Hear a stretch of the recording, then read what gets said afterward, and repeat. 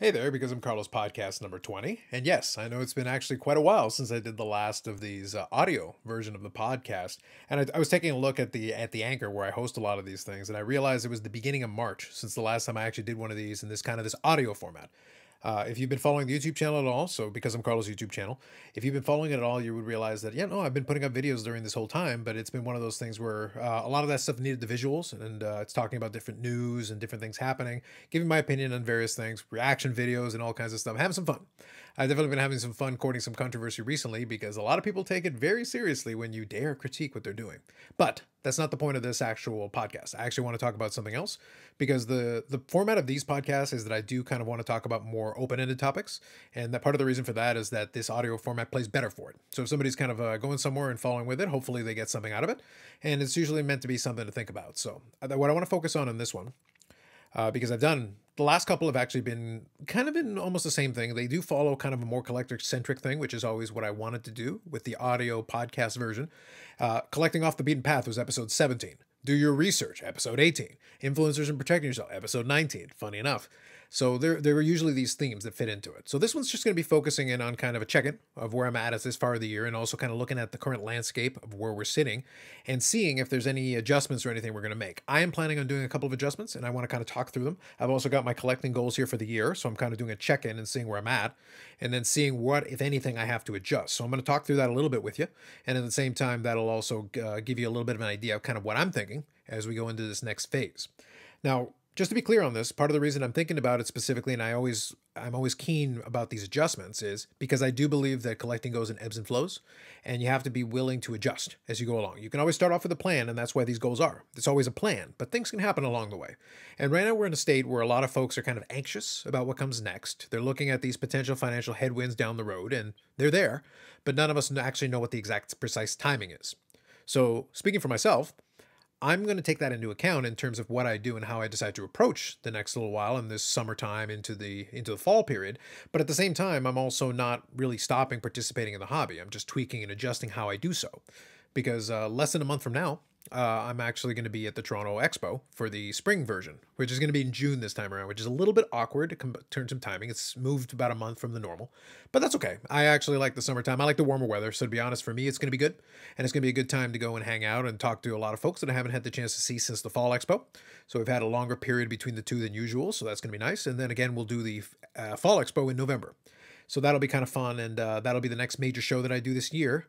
I don't think there's any other shows that I'm going to touch on. I'm not going to cross the border, I don't think, for anything. It would be kind of fun to do, but it'd be one of those things where I'd have to time it out, find the time on vacation time, because I'm going to use a little bit of vacation time for the for the uh, Spring Expo because I usually treat it as like a little mini vacation. That's just kind of the way I like to approach it. I go and hang out with folks. We go have dinner, have drinks, and then uh, go to the card show and hang out. Even if I don't buy anything, it's it's a fun time. Um, I don't know if I'll find as much stuff uh, during this spring one as I do during the fall usually, but uh, regardless, I think uh, on the channel there'll be a vlog of some kind, at least one, uh, covering a lot of what I end up doing there. So that's kind of the thing to keep in mind. And if you check out the Because I'm Carlos YouTube channel, you'll be able to see the, any of that. Otherwise, maybe I'll give an audio recap or something. I'll, I'll see what I can do as far as that's concerned. Now, talking about this, the whole financial headwind thing that we're looking at, well, here's what we know. We know that uh, interest rates are being increased, which in turn adjusts the cost of borrowing, which in turn reduces the amount of extra money sitting around that people can have as far as borrowing money. And it changes a lot of the dynamics. But it's one of those things where if you bear in mind that it is a hobby, this should be disposable income stuff. So a lot of this, yes, it has an impact, but in all honesty, my what I advocate from a collector perspective is your your cards should not be a line item on your you know your annual. There's always been there's a lot of questions related to stuff like that because and, and I talked about it on the most recent live stream that I did was that there were a couple of questions like oh do you want to say anything can you say something about taxes and I said well there isn't much I can tell you about taxes other than keep good records and taxes are a fact of life if you're doing anything resembling a business even if you're doing it as kind of a side hustle and you're like, oh, well, previously I didn't get charged for taxes on this low amount. It's like, yeah, okay. But if you're operating it like as a business and you're thinking about it that way, you just you just need to understand that rules can change. You know, tax rules change all the time. So you have to kind of understand that. Um, but as far as a collector is concerned, if you're operating in that space, well, then maybe adjust your budget accordingly. Like if you're concerned, I would suggest, you know, ratcheting down your budget. And that's kind of a, a good approach. You can also still, uh, in my opinion, and depending on what sector you're in, if you're not into this really expensive um, you know categories and you haven't don't have a lot of money into some stuff you can still make money on some of the stuff because that's always the way it is. A lot of people really fixate on this idea like, oh, well, you know, prices are going down. It's like, yeah, but if your cost basis was low and you were in previously, well, then it's not a big deal. I found that in the in the case of my last PSA submission that came back, I've had a bunch of those cards that I sent in a long time ago, and my cost basis on them was next to nothing. So adding in these the grading fee uh, meant that I was still able to turn and convert a lot of those cards for eight, nine, ten times as much as what I had into them. So even though prices were a lot colder than they had been, I really had no issue moving the cards. I priced them competitively so I could move them. I didn't try to go to the absolute tippy top of the market. I wasn't trying to squeeze every last dime out of it. So I was able to make a tidy profit on it and it paid for the submission and then some. And I still have a bunch of the cards left over from it. So for me, that worked. But I'm not operating this as a business, but I understand that it's still going to be part of it. I still have the paperwork for it, and uh, eBay sends you that information now, so at least on uh, this side. So that's going to be part of it as well. But um, if you adjust yourself accordingly, if you are concerned about it, then I would see then I would seek a tax professional. That's honestly the best uh, best approach. So just bear that in mind. It is kind of a fact of life. People don't like it. It's one of those things. People don't like it, but you still have to deal with it. Ignoring it isn't going to make it go away. Now, from the collecting perspective for this, you do want to adjust kind of what you're doing. You do want to take a look at it where you're sitting on your goals. Like one of the things I do is I do the the collecting goals for the year. And just looking at the list right now, uh, 2018 Topps Chrome UFC auto set. Uh, I'm down to one card in order to, sorry, two cards in order to complete the set, which is what I started the year with. So it's one of those things where nothing has really changed. And the biggest reason for that is that one of them is a Mark Hunt, which might be a super short print because I just don't see it. And the other one is a Sean O'Malley, which is just expensive. I can go get it on eBay at any time. It is available, but it's not uh, inexpensive. It's one of those things where I'm going to have to keep my eye open and maybe I'll get it. But at that point, I'll have one left. So I don't know if I'll be able to finish the set. So it could just be a matter of maybe not just being able to find that card or not being willing to pay the freight. Again, if prices come down though, maybe that Sean O'Malley will come down to me and maybe that'll be an opportunity for that one. Next is uh, Mystery Finest Refractors. I'll I'll get that done. That's not a big deal. Um, I'm still right around where I was, but I've been adding some pieces. 96 Finest Gold Refractors. Um, I've made some progress on that, and I've got some stuff coming in. So that'll be on a mail day on the YouTube channel. So good on that.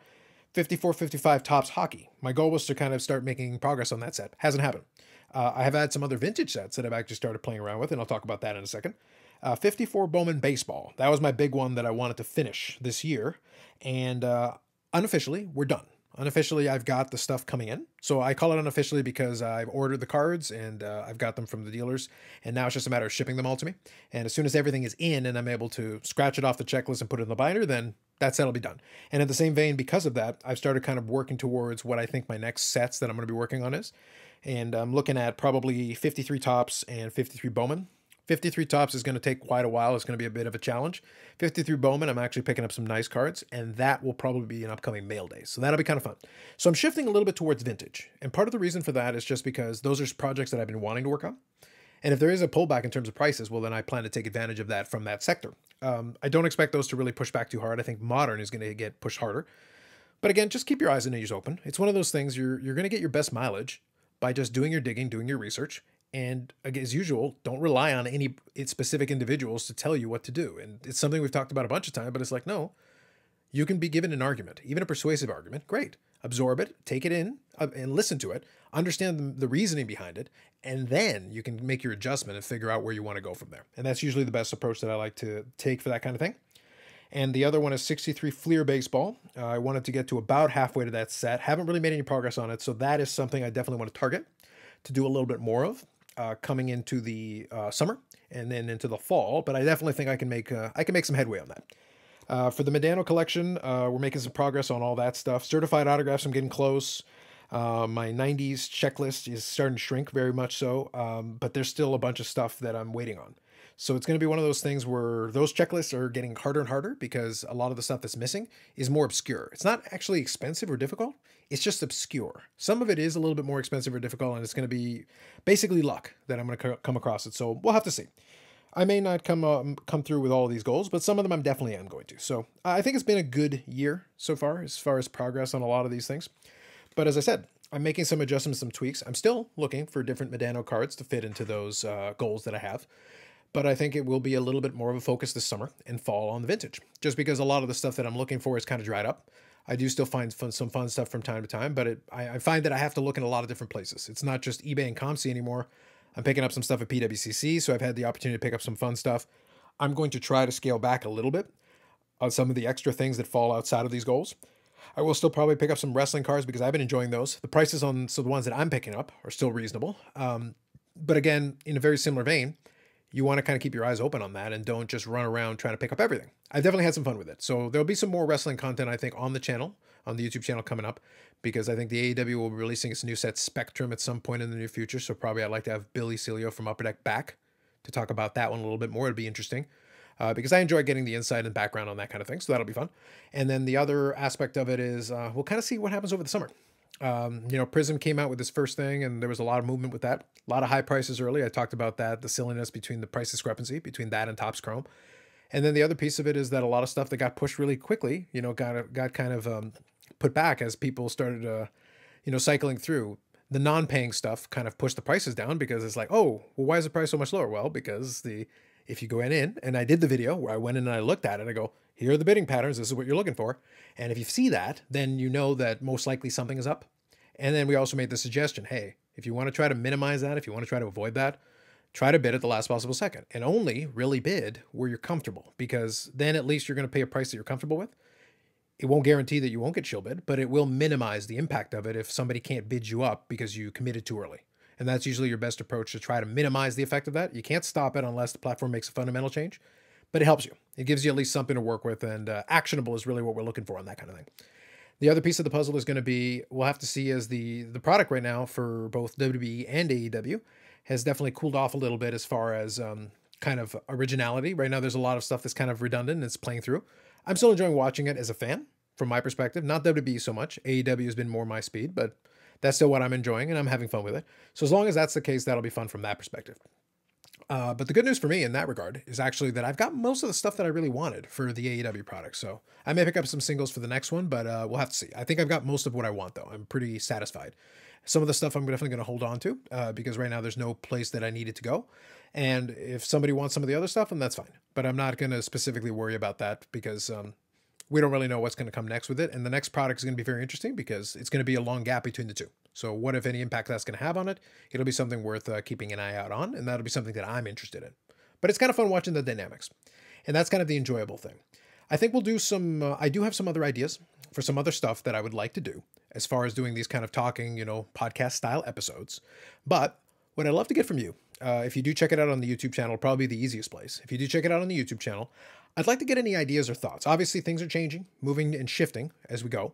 I'd like to get any thoughts from you about anything you would like to hear talked about, anything you'd like me to kind of uh, look at and break down a little bit more.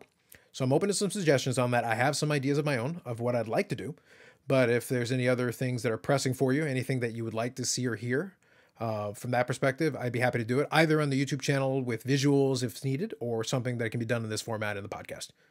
So I think that'll be it for this one. Uh, there, there is episode 20. Took me about two months to get from 19 to 20, but here we are. So episode 20 of Because I'm Carlos podcast. It is available on iTunes, Spotify, Google Play, wherever Anchor uh, pushes the audio version of the platform. And then additionally to that, it is on the YouTube channel as Because I'm Carlos. So if you search that, you'll be able to find it.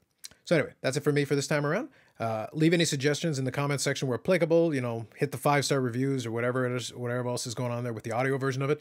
And we'll catch you in the next one.